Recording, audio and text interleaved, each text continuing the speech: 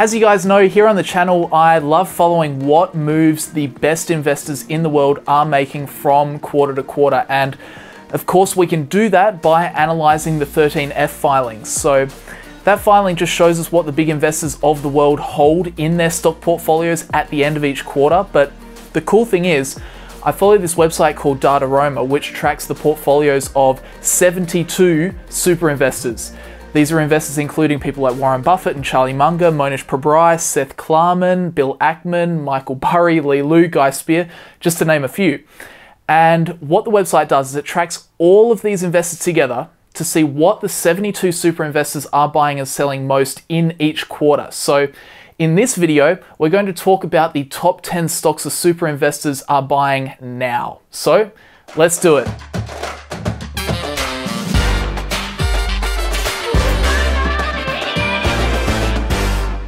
This video is sponsored by Hypercharts. Sign up to Hypercharts using the referral code NEWMONEY or use the referral link in the description and save 10% for your first year of Hypercharts Premium. Details in the description. All right, let's get stuck straight into this list. We'll fly through the first few and then I want to spend a little bit more time uh, more at the top of the list. So we'll start at number 10, we have Anthem. Anthem is a US health insurance provider and was bought by five of the super investors in the quarter, uh, with those buys representing 0.1% of the portfolio.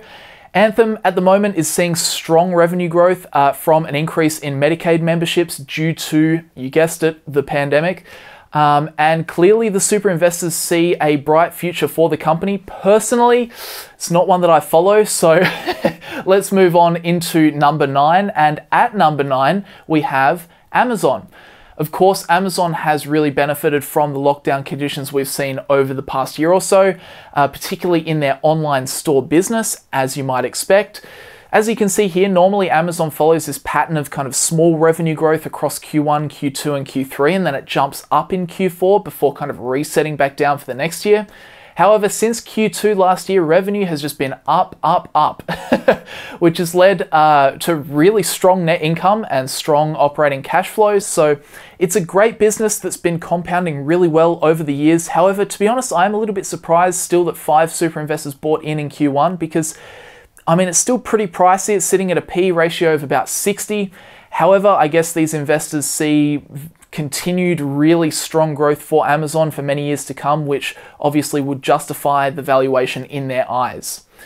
All right, coming in then at number eight. Number eight, we've got Visa. So Visa is an incredibly strong moat company. There's really only three main players in their market, full stop. There's Visa, MasterCard, American Express, and Visa is definitely number one. So remember, Visa makes money literally every time you make a payment with a Visa card. They're going to take just a little bit of money for their processing services. So it's effectively just a small but frequent toll moat at this point. Now, Visa did struggle a little bit with the lockdown. As you can see, their revenue and operating income fell during last year. However, it does seem to be bouncing back now, and clearly, six super investors saw a good opportunity in Visa at the price it was at uh, during Q1. So, then moving on into the seventh most bought stock in Q1 by our super investors, we hit Altimeter Growth Corp 2. You heard of this one?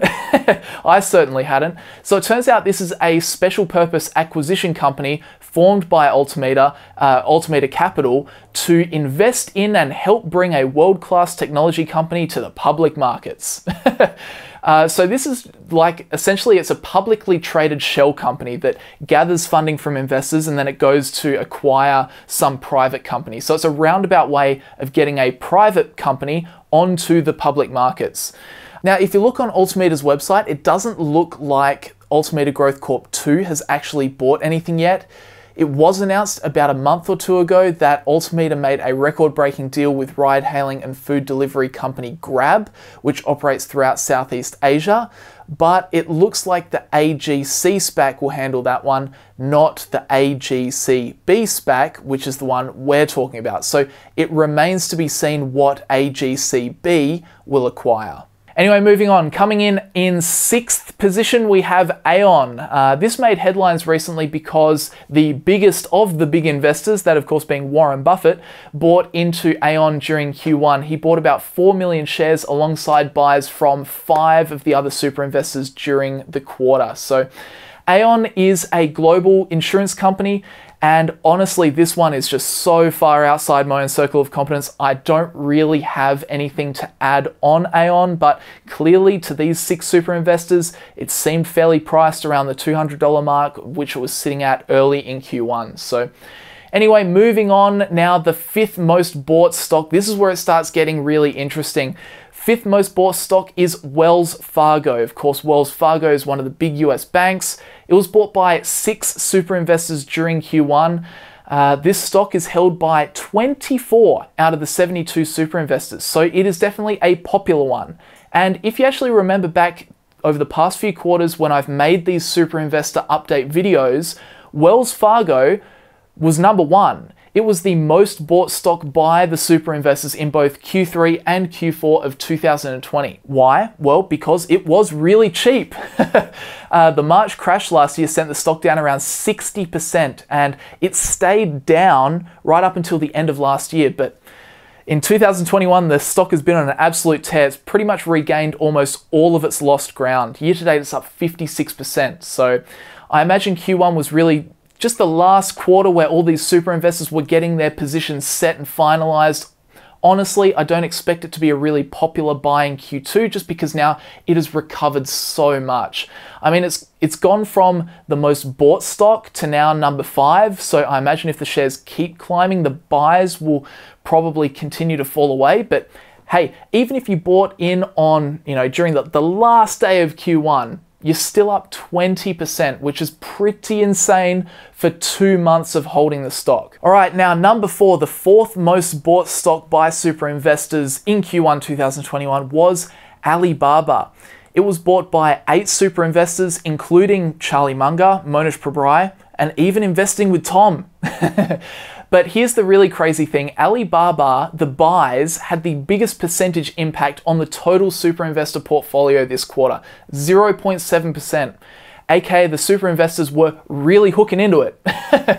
Check this out Alibaba is now 20% of Charlie Munger's portfolio and 14% of Mohnish Pabrai's portfolio.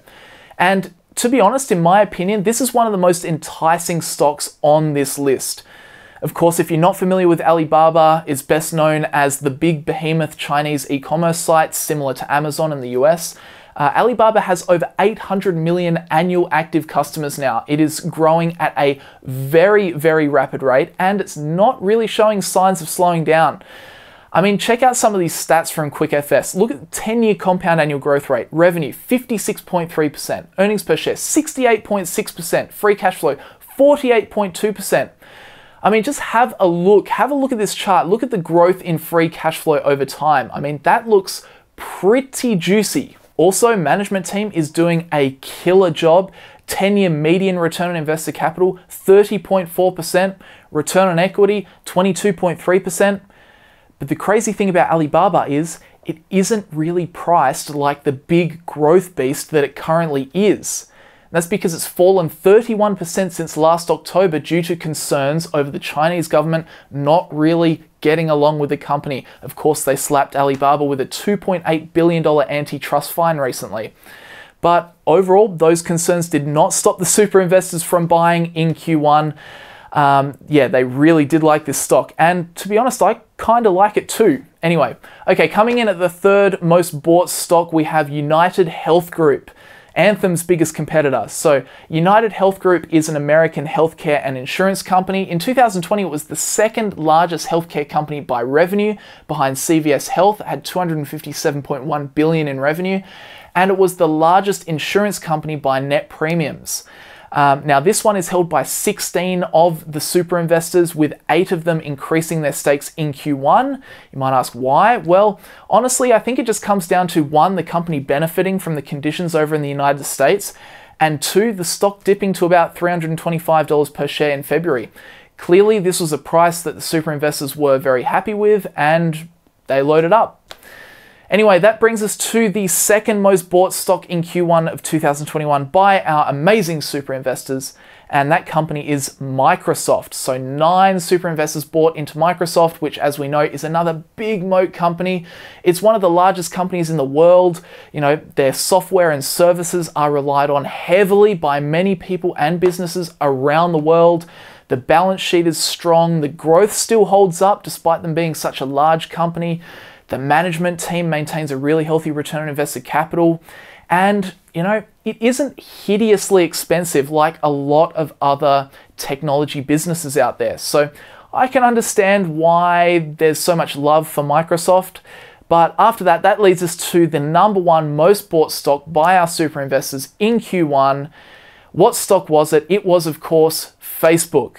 Facebook was bought by a staggering 14 of the 72 super investors in Q1. Overall, it is held by 31 of the 72 super investors in total. In fact, this is the most owned stock by the super investors, period. And you can understand why, right? Facebook just has so much going for it. At a basic level, it's a simple business, it's high margin, it's very scalable, it's only set to grow over the next decade. It's got to be one of the cleanest balance sheets you'll find. It has no debt. It's currently growing like crazy. And the management team are investing really well into the business. It's also got a huge network effect as its moat. It has more than, get this, more than 3.45 billion monthly active users on at least one of their platforms.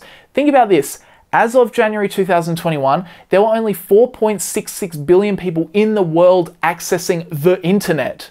So, of all people accessing the internet, 74% of them are using at least one of Facebook's apps at least once per month, with 58% of them accessing one of their apps daily. That is incredible. So, you know, if you ask me, I am not surprised that one of the world's, literally one of the world's most enticing businesses continues to attract the world's best investors. Plus, the stock dipped to a low point of just under $250 per share in Q1, which I think would have attracted a lot of investors. But anyway, guys, they are the top 10 buys from our super investors in Q1 of 2021. Always worth remembering that we're two thirds of the way through Q2 now. So, this is because annoyingly, once Q1 finishes, the information gets held for 45 days, then it becomes public information. So we're kind of always looking backwards. However, still really interesting. Remember, how should you use this information? You definitely shouldn't just go out and buy these stocks because the great investors are. Um, the way I use it is I use it as a research point. It's like, okay, sure. So Charlie Munger and Mohnish Pabrai both bought Alibaba this quarter. I'm gonna go do my own research on Alibaba now because there might be something there that I would be interested in. So that's how I treat this information, how I recommend you treat it as well. It's kind of like a nice guiding light in the right direction, but you shouldn't rely on it. Anyway, guys, that is it for this video. Leave a like on the video if you did find it useful or if you enjoyed it. I put a lot of effort into the videos, so I really do appreciate when you guys show the love back and just hit the like button. Uh, it's obviously the easiest way to support the channel. It takes all of a second to do, and I really appreciate it because it just helps the video get seen by more people. So I really do appreciate the support, guys. Thank you very much. If you're interested in subscribing to the channel, then subscribe, free to do so. Most of my views come from people that aren't subscribed, so if you're one of those people, yeah, I see you, 70 something percent of you, then feel free to subscribe, completely free to do so, and stay up to date with all that's going on in the investing world. If you're interested in how I go about my investing, you can check out Profitful, links down in the description below. But that will do me for today, guys. Thank you very much for watching, and I'll see you all in the next video. Hey guys, thanks for watching the video and thanks to Hypercharts for sponsoring this video. If you're a stock market investor and you are not using Hypercharts, I would seriously recommend you check them out. Uh, essentially what Hypercharts does is it takes all those nitty gritty numbers out of a company's financial statements and it puts it into really nice, easy to understand charts. And they do that quarter after quarter after quarter, year after year after year. Now that's just for free, but if you wanted to upgrade to a premium subscription, you get a whole host of other features. For example, you can compare two companies on the same page, you get access to historical price charts, but Interestingly, you also get any company you want their earnings sent to your email address, and you can even sync your calendar with the earnings calendar. So lots of cool stuff going on with Premium. If you did want to check it out, use the referral code New Money, that's all one word, or simply click the referral link down in the description for you to get 10% off of your first year. So definitely at least check it out. There's lots of stuff on there for free. It's a website I definitely think that all of us stock market investors should be using to identify trends in the company companies we like. And thanks very much to Hypercharts for reaching out and agreeing to sponsor some of this content. So if you're interested, check it out. But that is it for today. Thanks very much for watching, and I'll see you guys next time.